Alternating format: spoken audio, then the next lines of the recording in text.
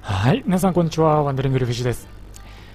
信長の野望創造戦国立志伝ではなくですね、今回は信長の野望小生録のパワーアップギットをプレイしていきたいと思います。えー、っとですね、まあ、ツイッター、あとは前回の昨日ですね、えーアップした作品というかね、えー動画をご覧のいたいただいた方はご存知かなとも思うんですが、今、タイの方に遊びに来てまして、えータイの方からはですね、この信長の野望小生録の方をプレイしていこうということで、昨日からプレイを始めています。今回はその続きになりますんで、えー早速プレイの方を始めていきたいと思います。で、前回最後ですね、えーまあ、死闘の挙句、こちらにある浜松城を奪取することに成功しました。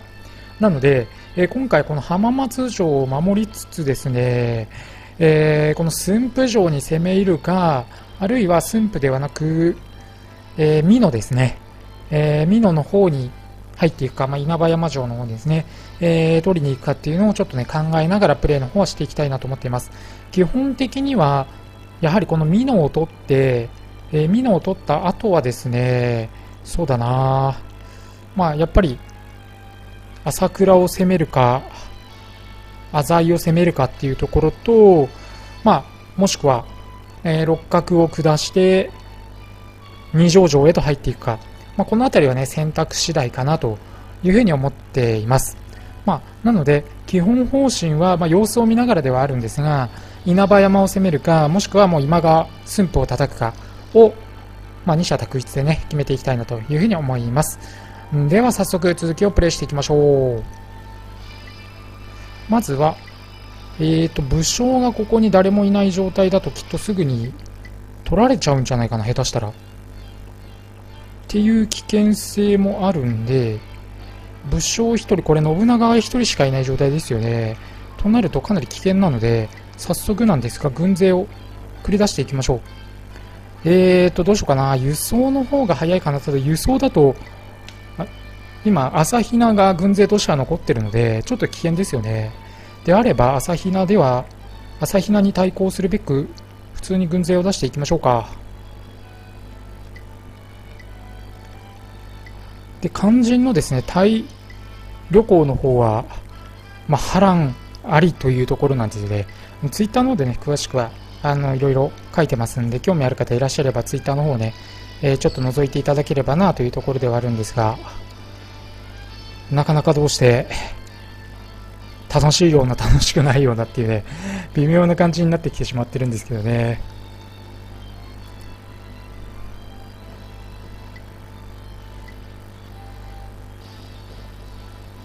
さあ、今川がどう動くかですよね。お、今川動かないか。この朝比奈の軍勢が何したいのかちょっとよくわからないな。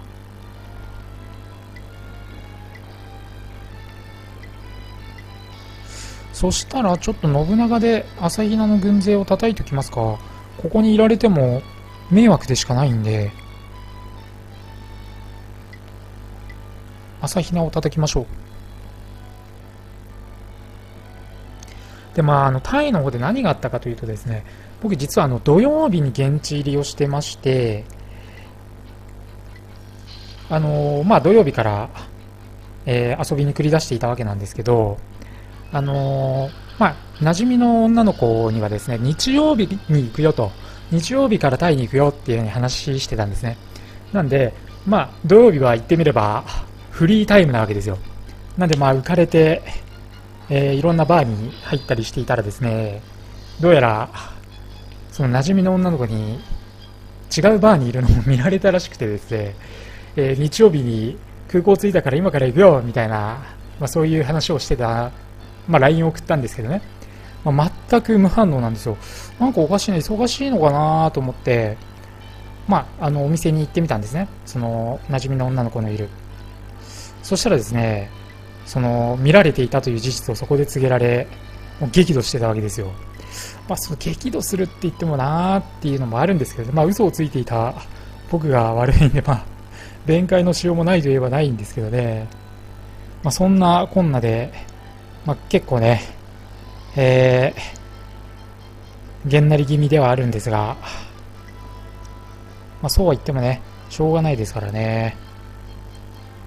では、輸送ユニットとしてお金を1000持たせて、これで、え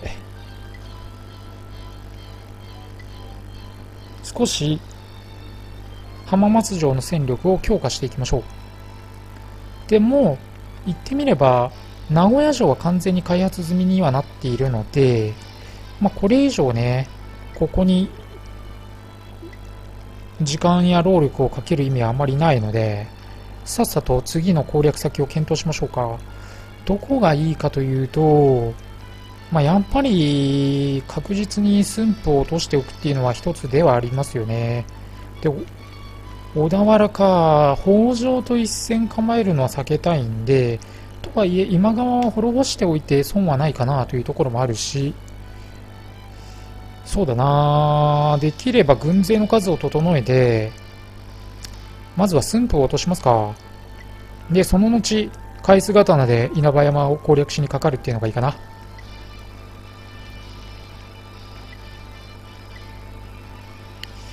比数が1160残っていて、こちら1751か。ちょっと数が足りないですね、やっぱり。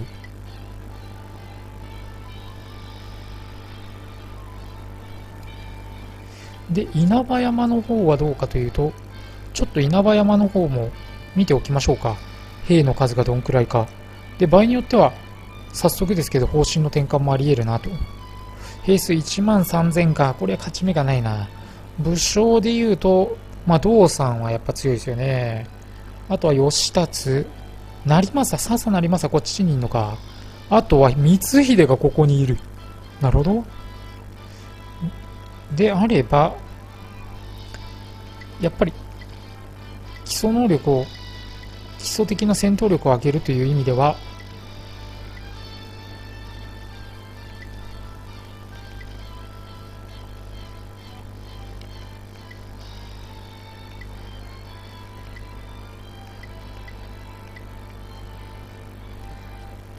先に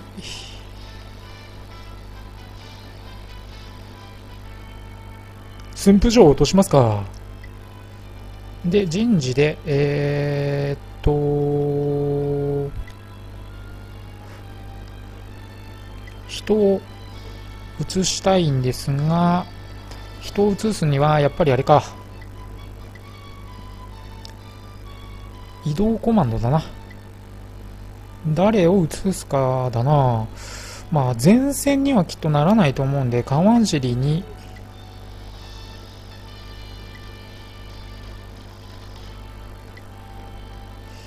えー、あとそうだなもう一人ぐらい動かしておきたいですけどね。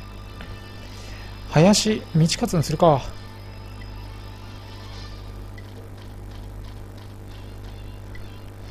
で、今、勝井はどこにいるんだ？勝井は今、街づくり中か。そしたら、えーと、ここで、そうだな。人を結構動かしてしまってできるだけ急いでこの浜松城の開発に力を入れますか。なんかそっちの方がいいですよねきっと。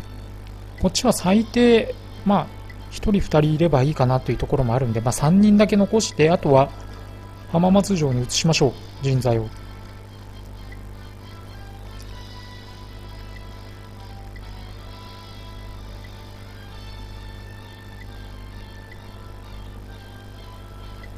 で、名古屋城は一旦委任しちゃいましょ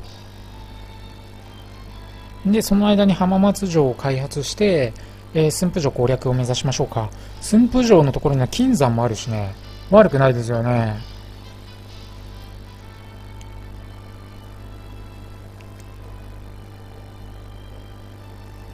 お、村上義清と信玄が戦ってますね。では、ここでは早速ですが、いろいろやっていきましょう。まあ、いろいろってなんじゃいって話ではあるんですけどね。であとは商業系かな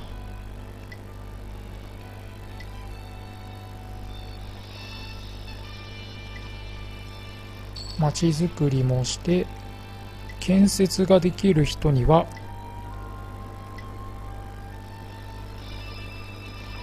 村落を作ってもらい、まあ、この辺りはね、もう完全に箱庭内政的な感じにはなりますけどね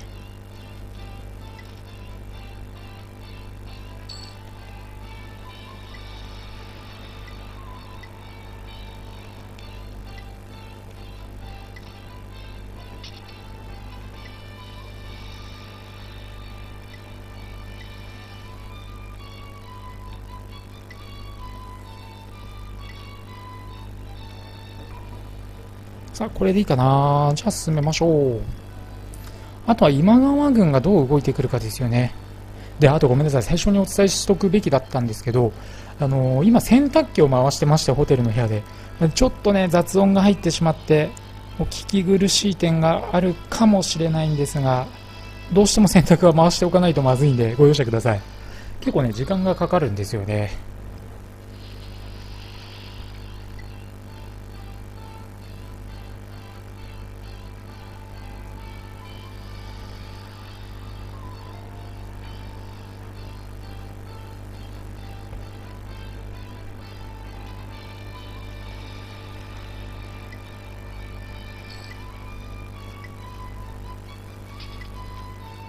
の辺りはね、えー、ほぼほぼ何も考えずにバシバシ進めていけばいいかなというところですね。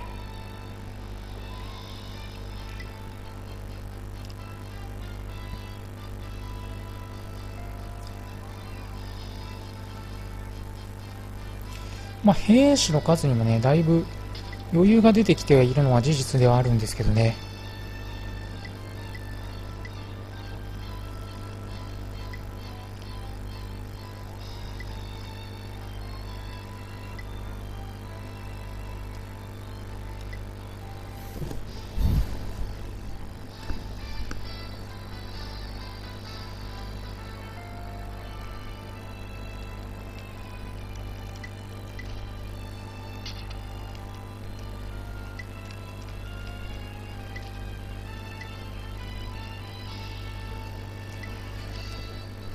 まあ、タイの旅行の話に戻すと、まあ、そういうわけで激怒していた、まあ、馴染みの女の子がいたんですけど、まあ、ちょっともう手がつけられないほどに激怒してたんで、今日からまたちょっとね、心機一転というと語弊ありますけど、新たな楽しみを見つけるべく、バーホッピングに励みたいと思いますんで、まあ、興味ある方もしいらっしゃったらですね、ツイッターの方をちょこちょこ覗いていただければ、あの、そのあたりはね、えー、お話ししているかなと思いますんで、えー、ご期待いただければなと思います。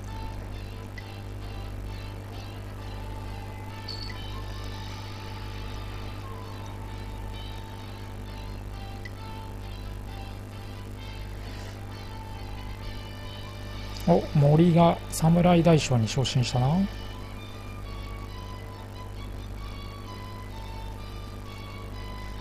まあ、やっぱり軍勢の数は限界があるんで、一個一個の、なんていうのかな、その、引き入れる、もともとの、えー、数は結構重要なんですよね。で特にその、大名になると、無条件で 1000×5、つまり5000率いることができるんですけど、それ以外になると、結構その、自分の今いる地位によって、400×5 で2000とかしか引き入れなくなることもあるんですよね。で、5000に2000って勝ち目がはっきり言って全くないんで、軍勢の数を整えるっていう意味では、やっぱりなんといっても、昇進、えー、位の高い武将を揃えるっていうのは結構重要な要素にはなってくるかなという感じですよね。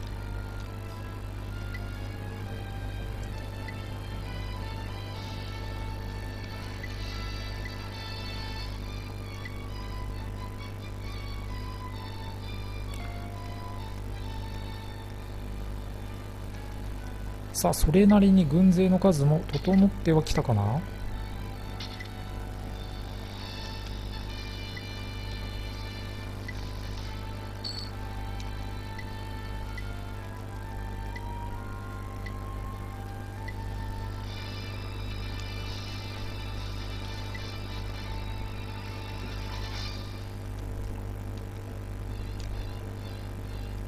結構市場も含めるとそれなりに信長の勢力って強くなってきてるな。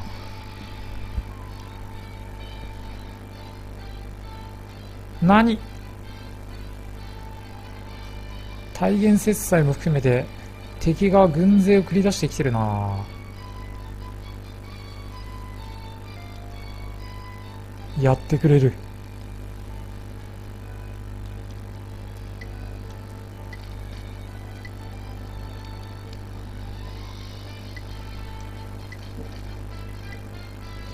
そうすると逆に言うとこれで敵の城兵はだいぶ減ってますよね。今がチャンスだな。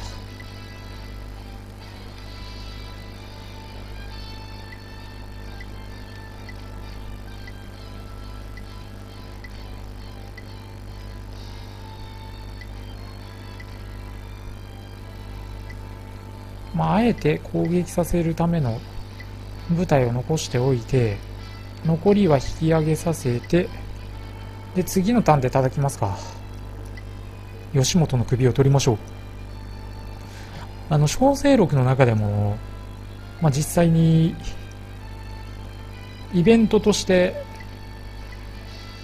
沖狭間の戦いは用意されているようではあるんですけども、まあ、ここではねそれをあえて自分で起こすという意味でやっていきましょうか。まずは信長で出陣して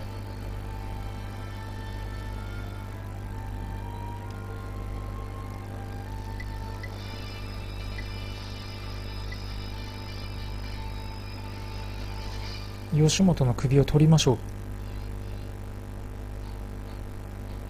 う。吉本もただ戦闘力はそれなりですね。B あるもんな。まあ、ただ敵の前衛を潰してしまえばこちらのものだ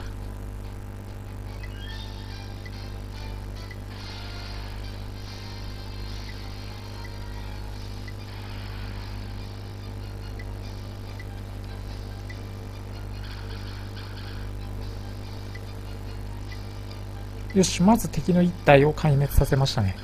まあ、数でね、圧倒するっていう意味では、この大名対大名だとどうにもならないんで、チャンスがあるとすればその前衛が3対2っていう状態を常に作り出して一斉攻撃で順次壊滅させていくのが多分一番手っ取り早いかなという感じですね。まあ兵もそれなりに損なうんですけどね。まずは確実にこの吉本の軍勢を排除しておかないといけませんからね。でさらに切磋の軍勢も来てますからね、切磋も。で、ここで敵が前衛3人になったか、早々に2対2の状態に戻しましょう。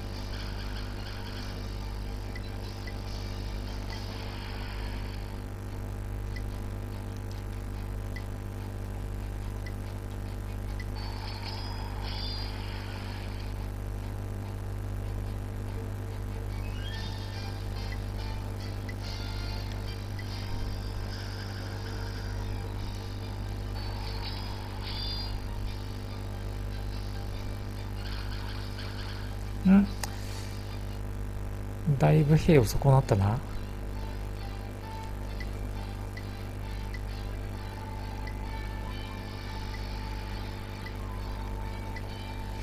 切磋の横腹をつければ切磋だけでも切磋のただ足軽適性がどんくらいか全くわからないからなちょっと見てみないと B 対 D か結構厳しいな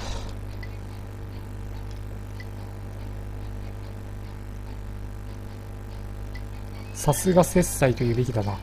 聞かなかったですね。放火作戦は。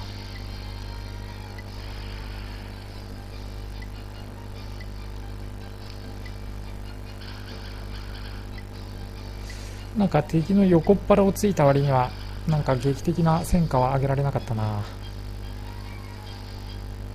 しかも、こっちが逆に放火を受けるっていうね。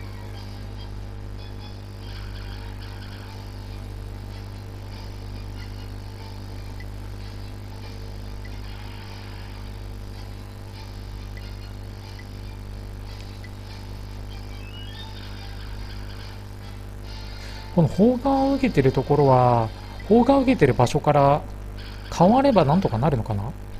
移動すれば。いやそもそもターンが回ってこないな。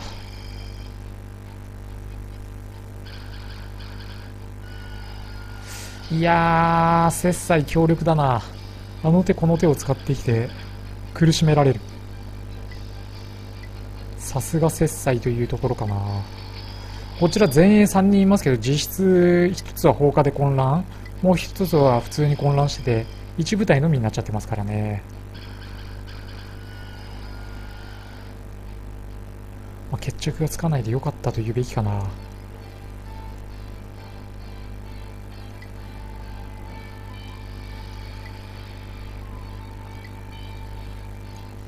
で次が今側の方の攻撃パターンになるんで、えー、まあ横っ腹を突かれる可能性がありますね。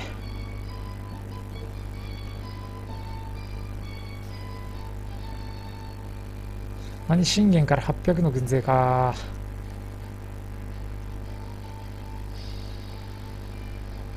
ただ守備側もそれなりに数はいるので、まあ、十分に防衛できそうな気するけどな。切磋が会場要求してきたけど、もちろんいいえですよ。よし、攻撃は全滅させたか。いや、これでかいな。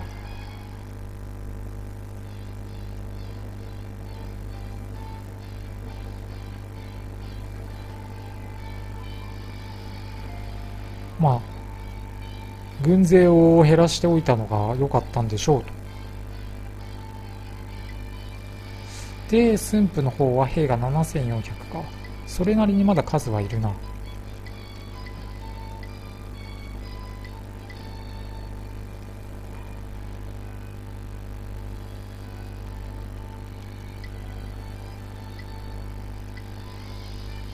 えーと、そうすると、ちょっと移動させましょうか。人をね。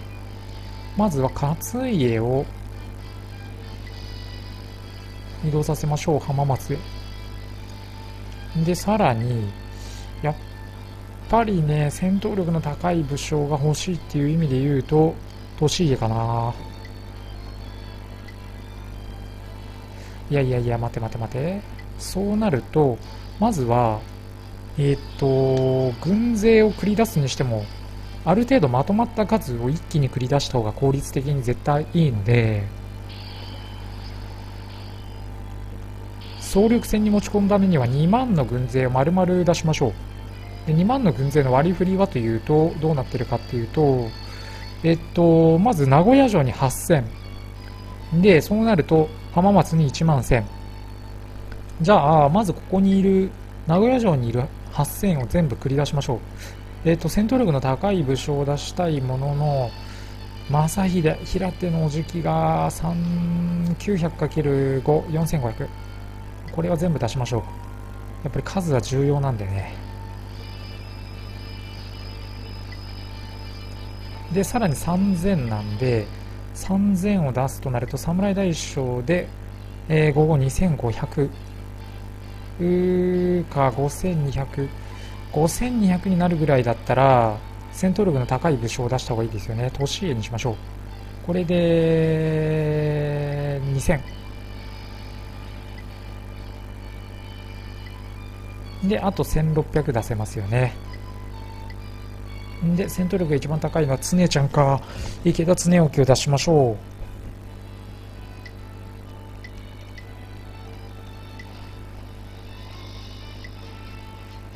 これでいいかな。で、えー、軍勢が揃ったら、浜松城からも丸々軍勢を繰り出しましょう。で信玄の軍勢が不可市場から800で来てるって言いますけど800に関してははっきり言って問題がない数値なので800ごときで落ちるようなね軍勢ではさすがにないですからね。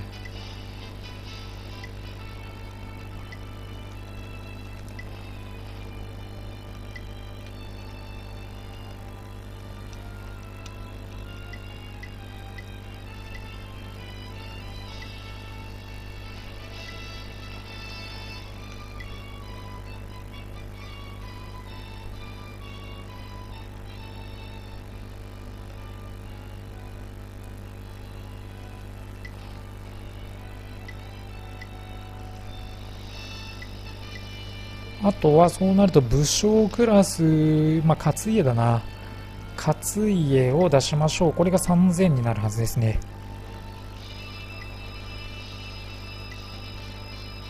で、さらにまだ4800出せるので、えー、ここは正勝。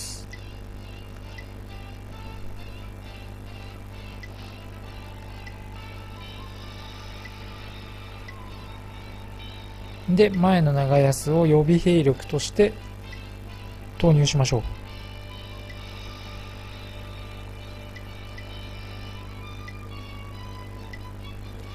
う。よし、これでいいでしょう。これで一気に駿府館、駿府城攻略せしめましょう。何？浜松城で兵士が逃亡？マジか。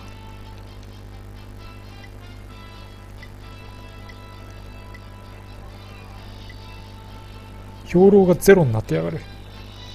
くぅ。急いで兵糧を輸送してあげないとダメだ。輸送しましょう。兵糧を5000ほど急いで輸送しましょう。まあ、今いる部隊に関しては影響はなさそうなので、このまま一気に城攻めに取り掛かりましょうか。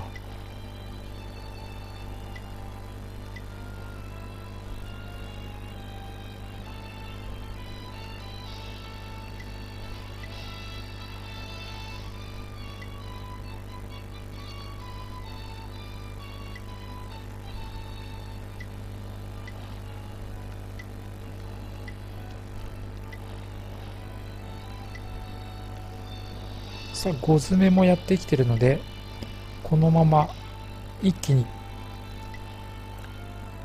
駿府を飲み込みましょう。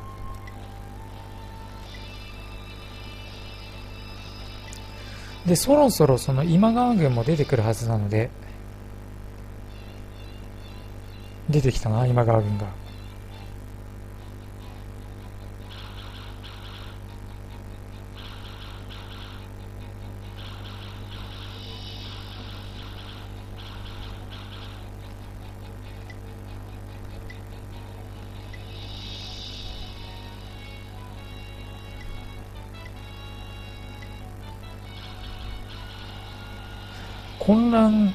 通に混乱はしなかったけど、普通の攻撃で混乱はするのね。ただ弓だと、船に乗ってる上陸作戦中だとさすがに弱いな。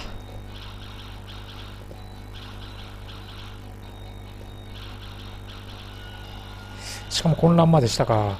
これ信長の5000が壊滅すると一気に形勢が変わるな。なんとかこらえたい。大丈夫か信長そんな調子だと困るな。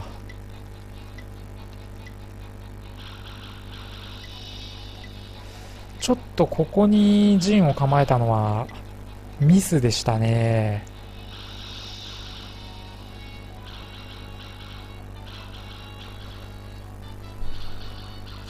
このままだと信長が壊滅するのは先になんとか回復してもらわないと。いやー、信長のこれマジ5000が壊滅するぞ。となると一平でも多く経営しておきたいな。次のターンできっと信長が死ぬんで、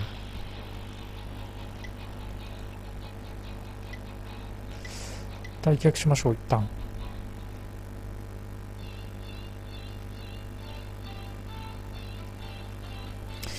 なあ、そうなると背後取られるよな。ただ、背後を取られたといっても、今度は逆に、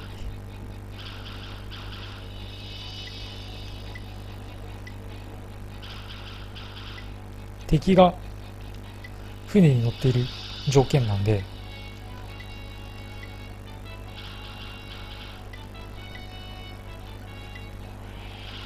とはいえ、ちょっと勝家残り260はきついよなこれは、うーん。勝家信長っていう主力の2体が、まさかの壊滅か。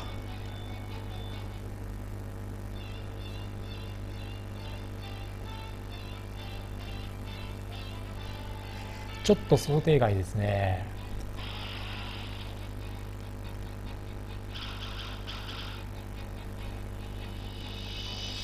いやー壊滅だなこれは本当に今川軍に。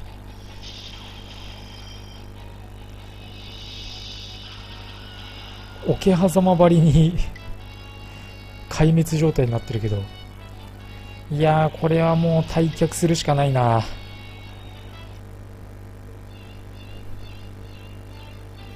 もみ方総崩れって感じだな。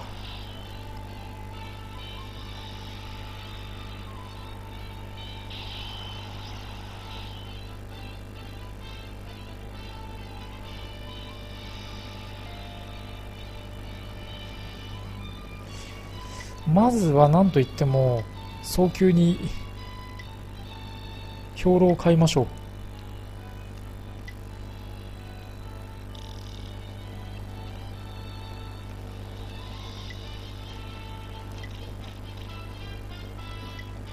それはそれとしてだ。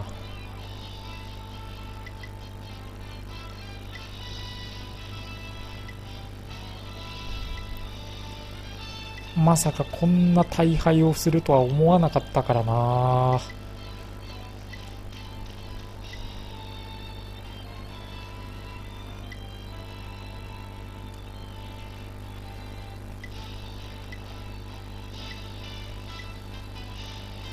まあ、ただここで忠次を叩いておけば平手正秀 900×54500 の軍勢で城攻めができるので勝機はまだありますね。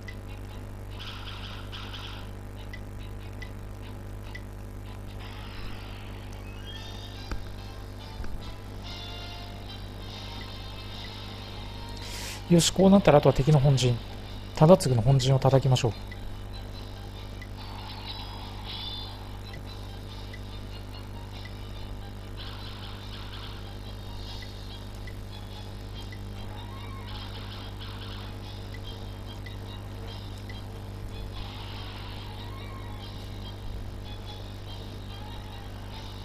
よし忠次の本陣を叩いたんで今川が出てくる今川とガチンコになる前に。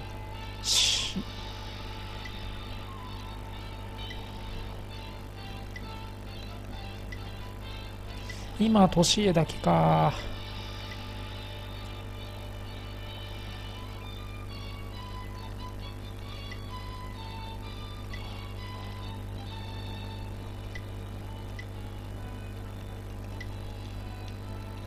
もう一旦かかりそうですね。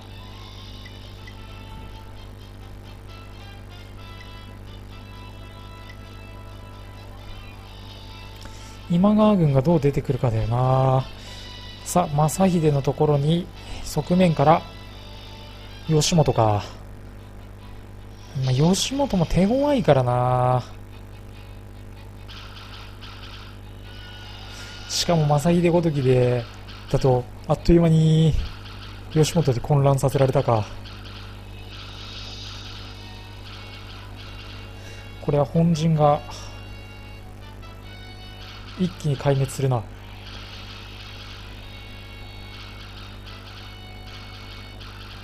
これ4500も失うのか。いやー、吉本強いな。ちょっとこちらの脇が甘かったとしか言いようがないですね。まあ、やっぱりその信長と吉本の初戦が完全に目論見みが外れましたね吉本信長が叩き潰してくれる三段だったんですが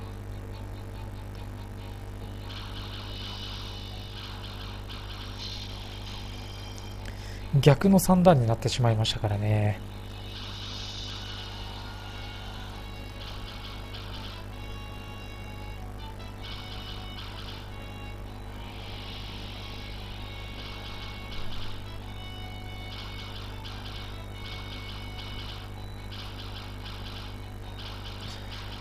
ただうまくすれば阿部ちゃんは倒せるかもしれないな。ここはあの委任している名古屋城なんで自分で操作できないんですよね。ただ阿部ちゃんは倒したな。よし。まだチャンスはある。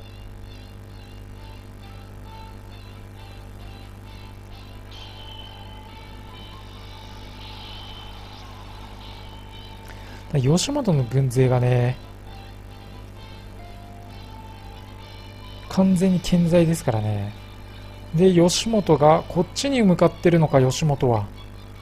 吉本は何を隠そうこの浜松城を吸収するべく出てきてるんだな。ただこれはチャンスだ。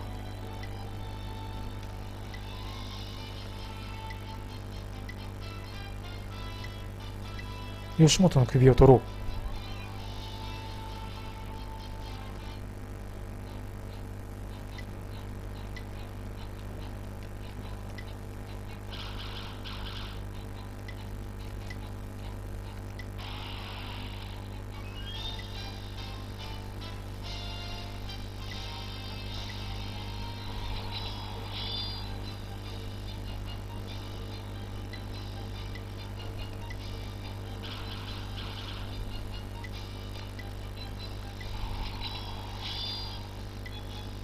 さあここで改めてというところですけど吉本の軍勢はだいぶ数を減らしている上に吉本の本陣が最前衛に出てきてるんでここは一気に押しつぶしましょう吉本を。吉本の首を上げる。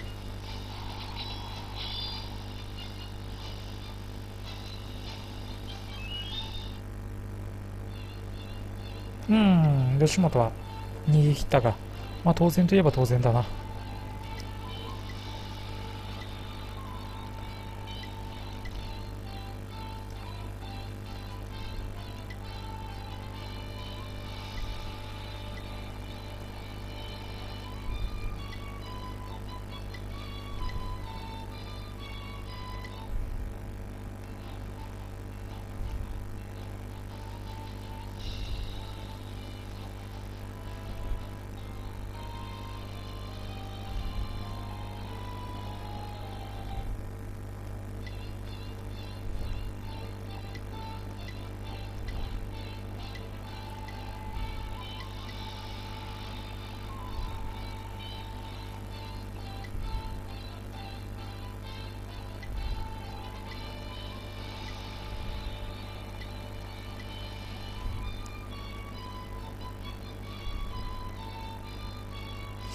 よし、これで次のターンになんとかなるかな。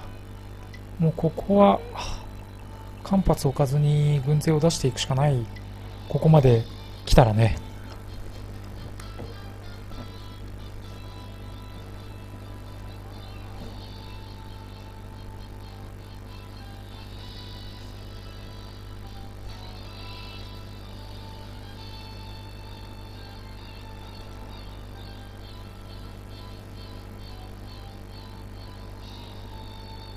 なんとか駿府を取り込んで確実に上洛の道を開きたいところなんですけどね。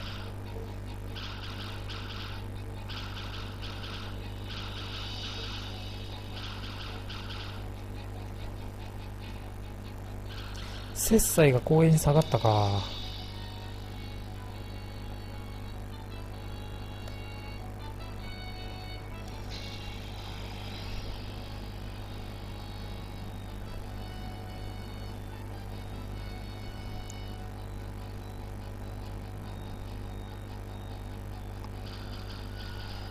何？都市への税か混乱か。まあ、切磋はさすがに強いな。ただ、まあ、今回切磋が強いとはいえ、切磋も水上戦になると、適正値は D なんで、十分に勝てるな。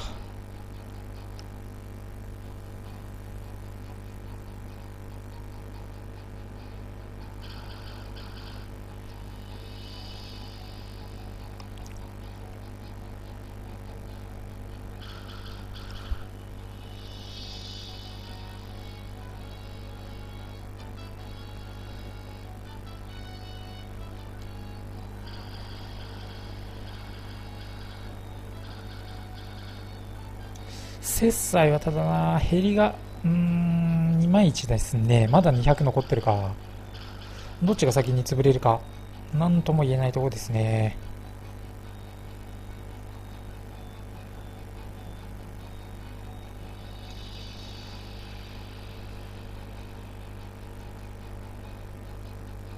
切磋はあの手この手で攻めていきますね主演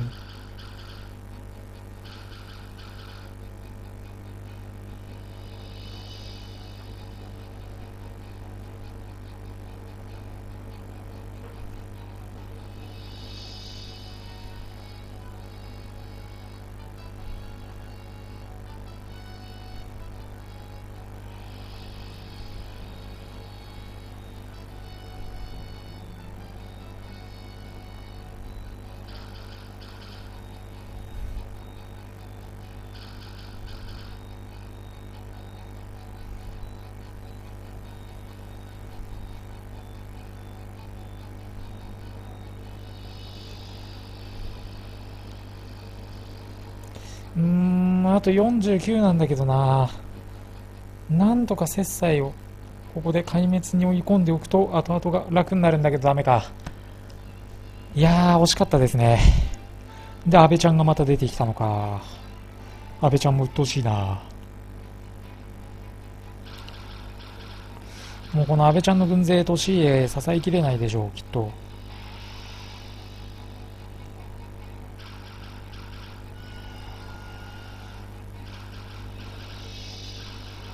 ぼ何もできずに壊滅か。もうせめてね、軍勢の数減らしといてくれると、次安倍ちゃんと対峙する軍勢が戦いやすいんですけどね。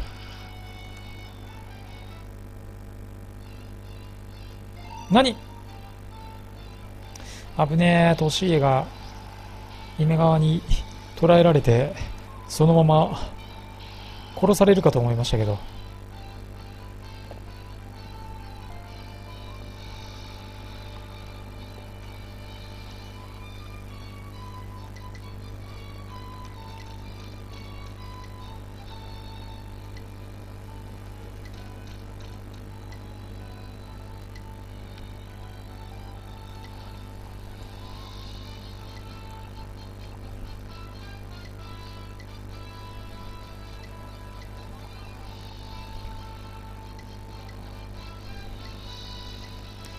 まず安倍ちゃんを叩いておきましょう。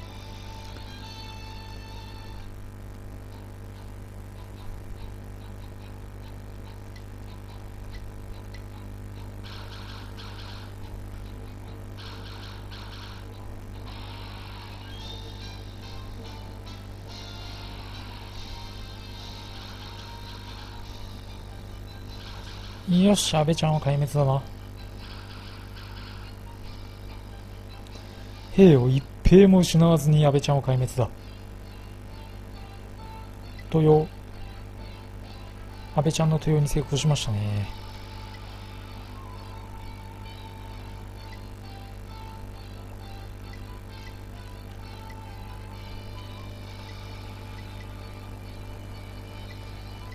切磋がここにいるんだなとは、まあ、この切磋がどう動いてくるかですねそうなると。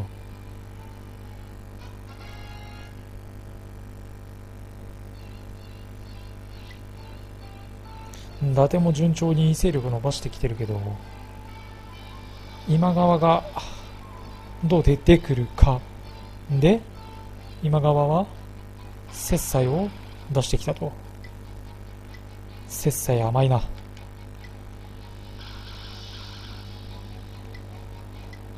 残された切磋の本陣の軍勢49人ですからね。これは即壊滅でしょう。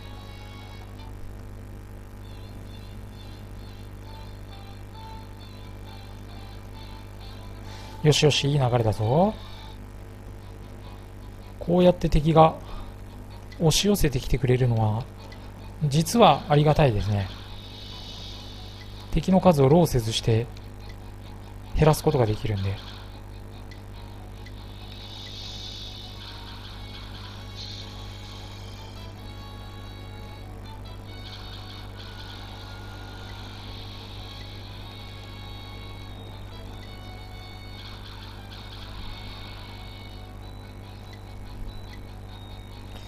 今更公園に下がっても遅い。よし朝比奈を壊滅させたんで。これでいよいよ城攻めの準備が。まだ出てくるか伊丹。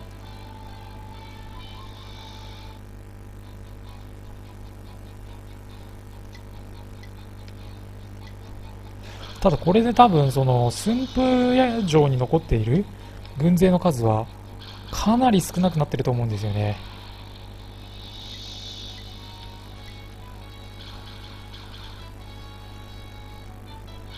まあ、こちらも1体壊滅したものの。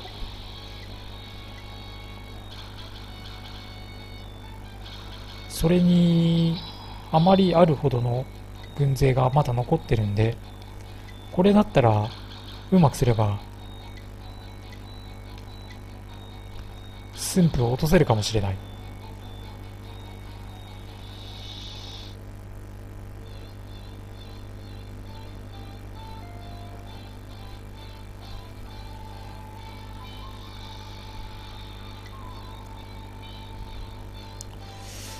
武田の星名が出てきてるな。どうしたというんだ？庭長秀を出しましょう。ここは。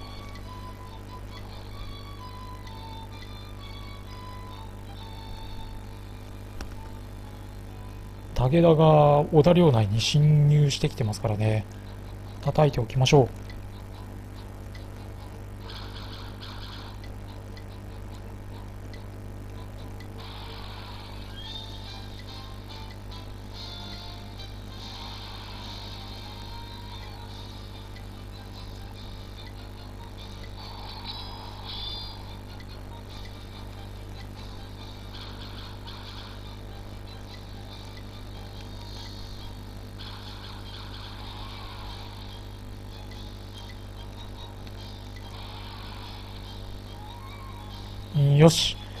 陣を落としたんで。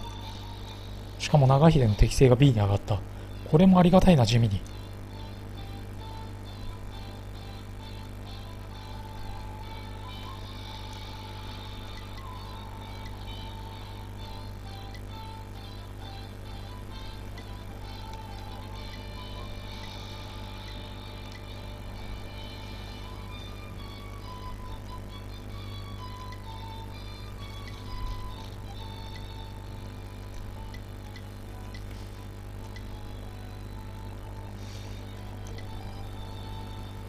次のターンでうまくすれば駿府を落とせるけど駿府の残りの数がどんくらいかというとこですね。でここでイベントが。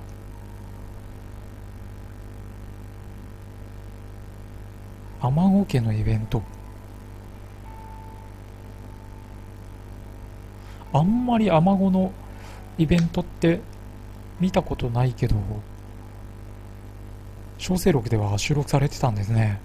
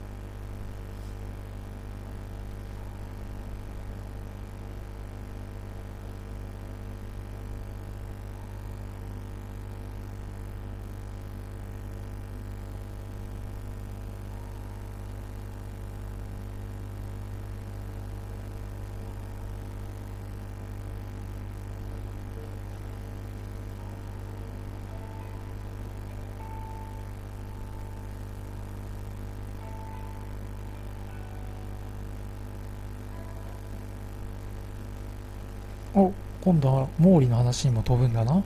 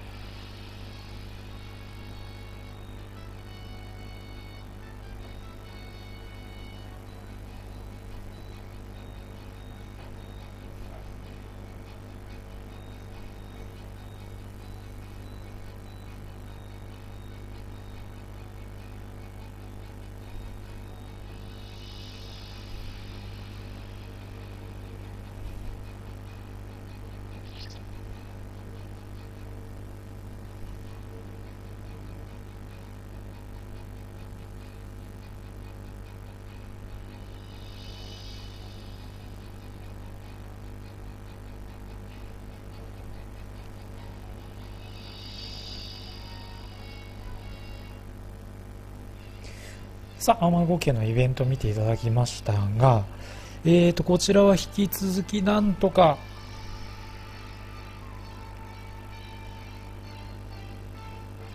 今川軍を撃退したいところですけどね、戦闘力が高すぎる吉清は、吉清の騎馬隊を相手に、正勝の軍勢があっという間に混乱状態だな。強すぎるだろ、これ。しかも吉木を自ら前衛を務めている。マジか。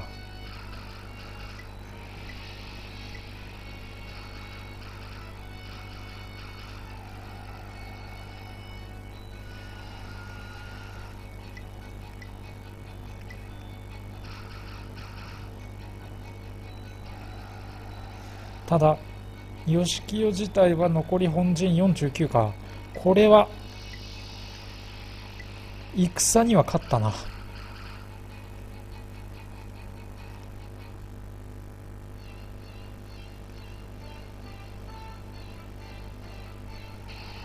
での問題はこの浜松じゃないや、え、ー、と駿府にどれくらいの軍勢が残ってるかですね。軍勢がもしほとんど残ってないんだったらそれこそこちらに勝機が十分にある。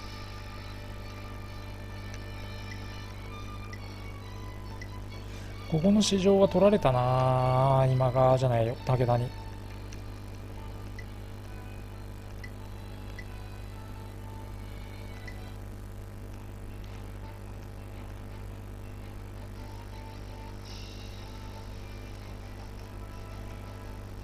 何攻撃が全滅か。マジか。まだ落とせないか。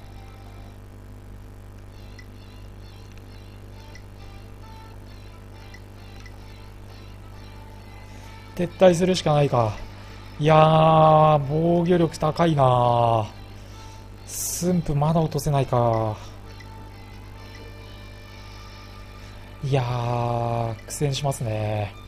はい、というところでちょっと今回ね、成果が全くなかったところではあるんですが、時間も、まあ、1時間経とうかというところになりますので、えー、一旦ここで終わりにしてですね、この続きは次回プレイをしていきたいと思います。